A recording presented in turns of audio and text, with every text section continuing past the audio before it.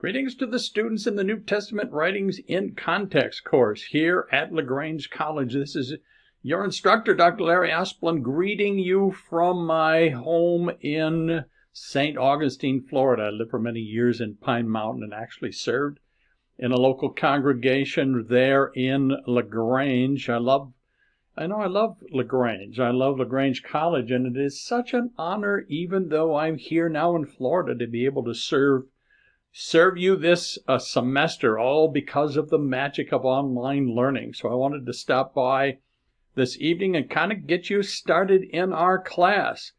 I think you're aware that there's a difference in uh, in the starting date, and I'll explain that a little more here in a moment. First of all, the course description for our class it's a study of the New Testament writings in the context of Greco-Roman civilization. The course asks students to reflect on the impact of Christian scriptures on Western civilization and consider their implications for the contemporary world, our world, your world.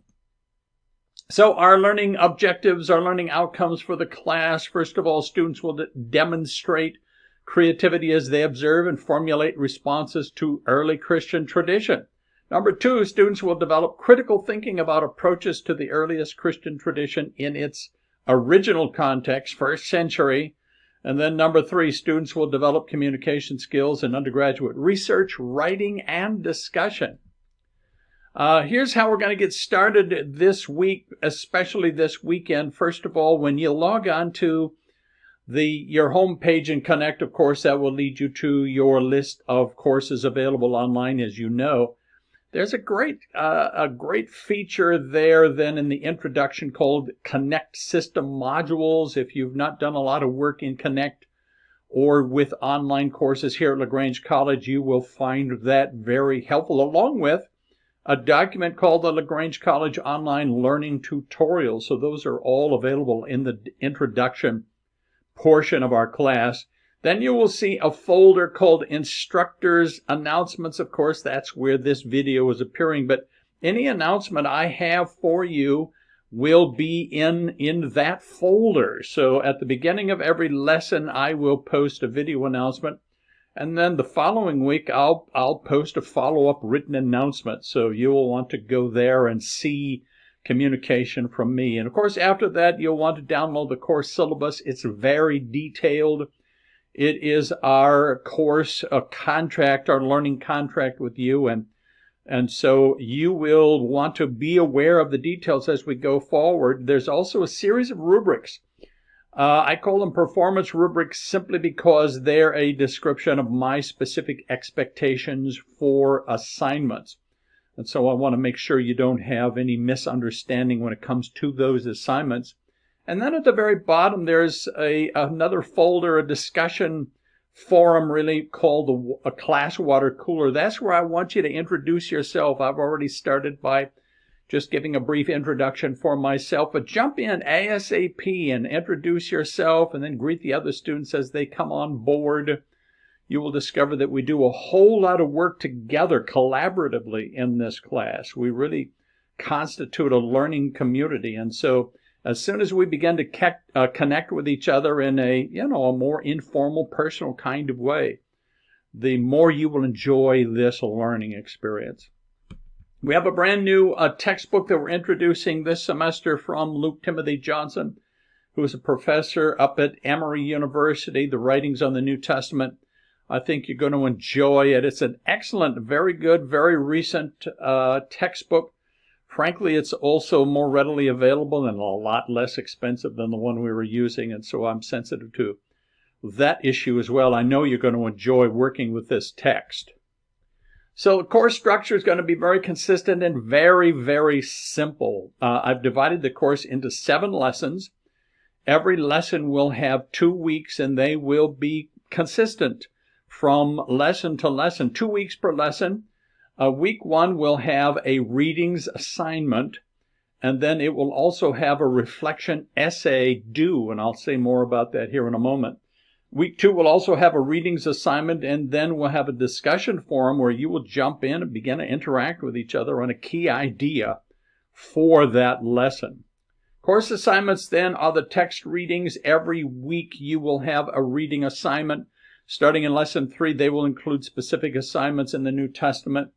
Uh, so also then the New Testament readings. There's a reading report. So it's just like a one question, essentially a one question quiz or survey asking you how much of the reading you were able to accomplish. So be sure to access that every week. Uh, and then there will be a series in week one of each lesson of reflection essays. Uh, it's a 500 word minimum reflection on a very specific question for the week. And again, I have made a rubric available to you so you can see what my expectations are. And then there will be a series of discussion forums always in week two of the lesson.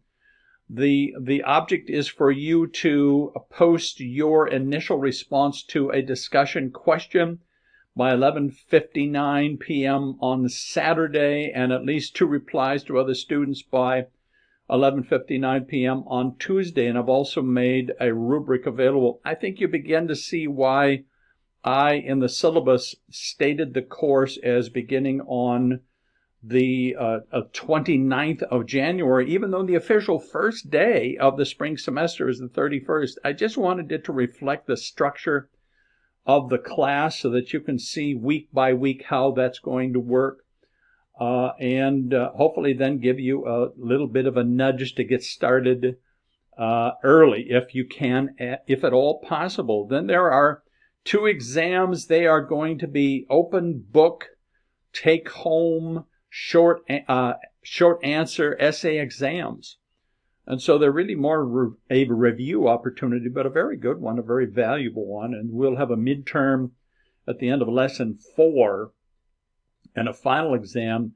It's actually, we'll cover through lesson uh, seven, but we'll come up in a lesson eight. Then there's a research paper. I've given you a ton of details in the syllabus on the research paper, ideas, resources, etc., etc., and I'm going to be talking about it as we go along in this class. So I want you to feel comfortable with this assignment and ready to do just some great and important work. And once again, also a rubric is available for that assignment. So here we are at the beginning. I wanted to welcome you to a lesson one of our class and get you started in the first week coming up. A lesson one theme is simply the introduction to New Testament writings. And so we're going to start launching into readings in the uh, Johnson textbook and also do some writing and some discussing in lesson one. Uh, lesson one, week one, then, and again, I gave you the January 31 date since it is, of course, the official first day of the spring semester. Uh, you will first of all read the introduction and chapter one in the Johnson text. That's pages 1 to 37, and then you will reflect, having read it, you will reflect on this idea, reflect on the first century Greco Roman context of the New Testament writings and how that might differ from our 21st century Western context.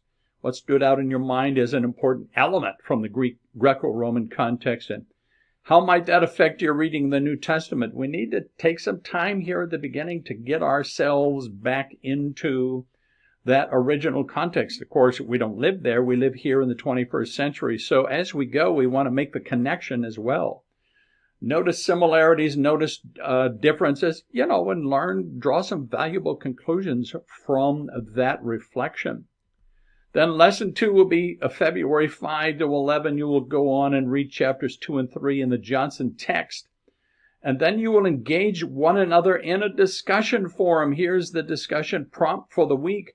The books of the New Testament and the rise of Christian faith must also be seen in a first century Jewish context. So discuss the connections between the New Testament writings and ancient Judaism that stood out in your mind as you read. And how do you think those connections were relevant? How might that affect your reading of the New Testament? So one, once again, we're making a connection between our own context and that of the original context of the New Testament. So as we jump into an introduction of the New Testament, I just am confident that you will find this, you know, not just an academic exercise. I appreciate the fact that this is a core course. Everybody's required to take it. My hope, my, my prayer, my confidence is that this will be a source of personal encouragement for you. Maybe even a source of strength uh, that you might need as you are here in your journey as a college student. I know how stressful it can be at times, especially for those of you who are very busy as student athletes, etc. All of you are very busy. Some of you are non traditional students. You have a full time job, you have a family. So I hope that this course will be personally encouraging for you. It will be a growth opportunity as well as a necessary course. So please understand that I am always here available to you. I answer emails very, very quickly. If you feel the need to have a, a, a discussion, uh, text my phone number. It's available in the syllabus. We will set an appointment time for a, uh, a telephone conversation. I'll always be here for you, committed to you and to your learning in this class. So God bless you, everybody. Just have a great beginning of our course.